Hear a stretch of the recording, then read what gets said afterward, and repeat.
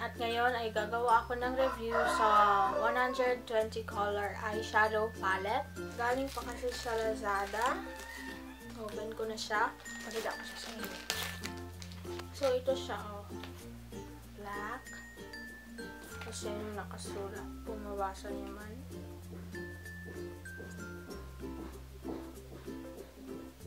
Um, binili ko to siya sa Lazada ay um, 500 plus. Nag-sale nga siya kasi 1,000 plus siya dati. So, kaya ako siya binili. Tsaka, kasi napag-isipan ko since nag-start naman ako ng YouTube channel ko, kailangan ko talaga ito siya. So, siya. Bubble wrap. Ito na siya. Um, wala siyang brand. It's unbranded. Ayan po ang kanyang mga kulay. Ito naman, parang nagabuo-buo. Ito green, may yellow. Tapos naghalo-halo yung mga kulay. Ayan. Diba? Ayan siya. Naka-plastic pa siya eh. Ayan na siya. So, i-open ko na siya ha. Totoo lang, tagal-tagal ko na itong gusto makuha. Kaso mahal na ito dati eh. Hinintay ko mag-sale.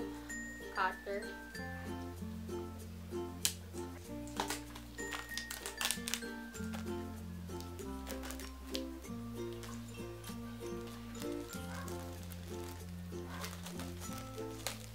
Meron siya yung parang protect. Ganyan oh. Yung plastic. Para i-protect yung eyeshadow.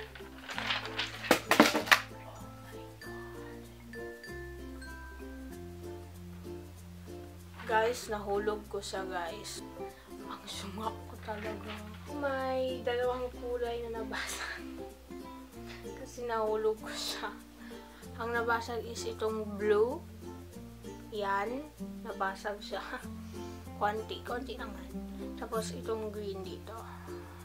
Konti naman din. Huwag kayong mag-alala. Konti lang.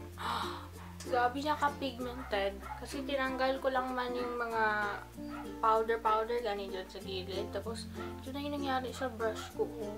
Grabe niya ka-pigmented. So, ngayon is, is-swatch ko siya dito sa aking may wagang elbow. Ay, hindi. Sa aking kamay. Mag-start ako dito sa first lane.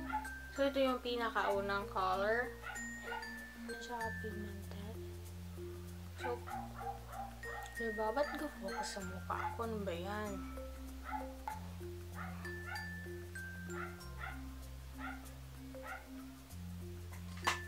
Ayan, yan po yung pinakaunang lima.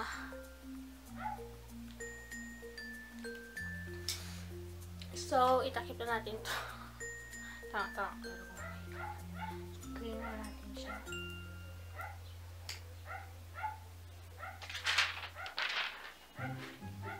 Kailangan talaga siyang alagang-alaga. Kunin naman natin yung isang palette. Ito siya, wala pa siya nabuksan. Plastic.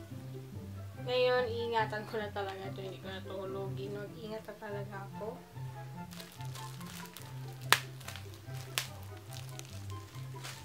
Ito na siya. Ito yung bag ko, ma'am. Ah, dyan. You know, napasok si mama. Sorry, guys. So, ito na yon. So, mapili lang ako ng limang kulay na iswatch sa kamay ko. So, iswatch ko tong grabe ka pink. Yan, iswatch ko siya ha. Yan. Yan siya ka pink. Yan siya. Yan. Next kulay itong red. Grabe na ka red. Ayan siya guys. Kita niyo naman, di ba? Red na red talaga siya.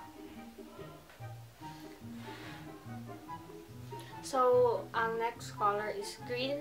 Kuha ako ng green.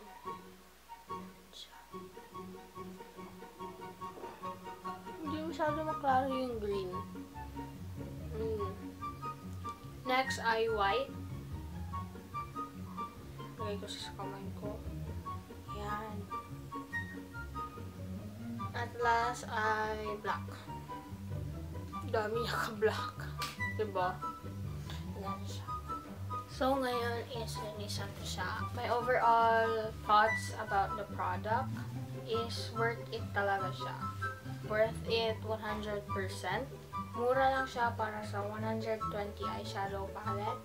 At bagay ito dun sa mga YouTubers. Sa mga aspiring YouTubers. Bagay na bagay ito siya tulad sa akin. At kung mahilig ka talaga sa makeup at mahilig ka mag-makeup, is talaga ito siya. So, itry ko lang ilagay yung link sa baba kung saan ko siya sa Lazada binili. Ayun, lagay ko lang sa baba ang link kung mahanap ko pa. Pagpasensya nyo na ako kasi ininisan ko pa siya.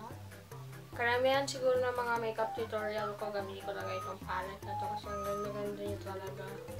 Kasi pigmented na siya, tapos lahat pa ng color is nandito na. So, saan ka pa? Diba? So, ayun na.